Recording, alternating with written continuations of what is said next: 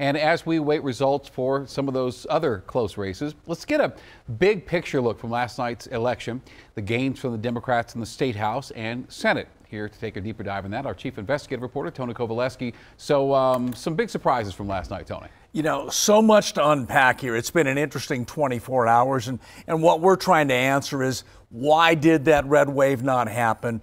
We always talk about unaffiliated voters and their impact on election results here in Colorado. And right now, I'm going to take you inside and show you on the governor's race really what happened there and how it went statewide. You talk about a 57 to 40 race with Governor Polis winning, right? You look back historically four years ago, and how did he do in that race? Only 53 42. So he gained ground. Why did he gain ground? These are the fascinating counties. Take a look at what happened in Douglas County.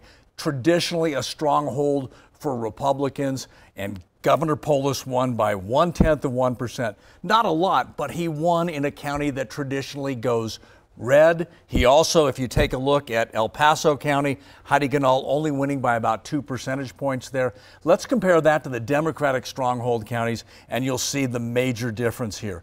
Boulder County, usually strong for Democrats, right? You look at these numbers 81% for Governor Polis, clearly over indexing in that county. Usually 70 to 75 is considered a good number for a Democrat. And then take a look again in Denver. 82% for the governor. These numbers are consistent through the AG's race, they're consistent through the Senate race. Clearly, the unaffiliated voters went blue, whether that was Roe v. Wade, whether that was the Democratic leaders in our state. But this election is being told by the unaffiliated votes and a really strong vote for the governor the, the Democratic senator, and obviously the attorney general. So, an interesting 24 hours. And Shannon? Oh, fascinating, and still more to come. Thank yeah, you, Tony.